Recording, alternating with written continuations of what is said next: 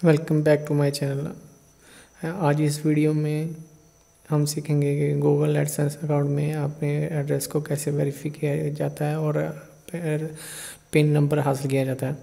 तो सबसे पहले वेरीफाई नाउ के ऑप्शन को क्लिक करते हुए एक नई विंडो ओपन होगी और इसी विंडो में अपलोड का ऑप्शन होगा। उस अपलोड के ऑप्शन को क्लिक करते हुए हम अपनी जो फ़ोटो बनाई हुई है आईडी कार्ड की साफ़ सुथरे तरीके से, फ्रंट साइड से तो हम उसको अपलोड करेंगे। जी, और नई विंडो ओपन होगी, लैपटॉप के ऑप्शन स्पेस में जहाँ पे हमने फ़ोटो रखा हुआ है तो ये अपलोड हो चुका है। तो इसके बाद हम सबमिट के बटन पर क्लिक करेंगे तो ये वेरिफिकेशन इन प्रोग्रेस हो जाएगी। तो ये हमारी वेरिफिकेशन इन प्रोग्रेस है तो फ्यू वीक्स में हमें वो ईमेल मसूल हो जाएगी। तो एक दो दिन में, उमूमन चौबीस घंटों में हमें वो ईमेल मिल जाती है, जो कि कि आपकी वेरिफिकेशन हो चुकी है तो आपको पिन नंबर सेंड कर दी गई है।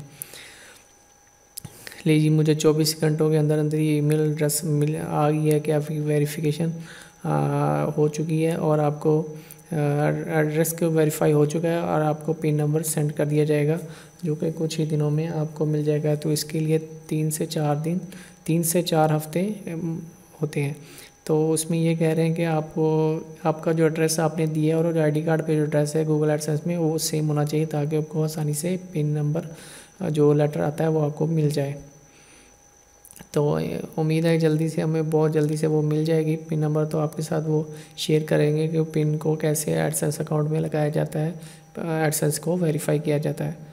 तो हमारे साथ जुड़े रहिए। इंशाल्लाह आपको नेक्स्ट वीडियो में भी इसके बारे में बताया जाएगा। इसमें एक और बात है कि अगर आप चार हफ्तों चार महीने के अंदर, चार मंथ फोर मंथ में अगर पिन नंबर पिन अप्लाई नहीं करते, इसमें नहीं लगाते आप तो आपको जो एड्स सर्व की जा रही है आपके चैनल के ऊपर, वो बंद हो सकती हैं।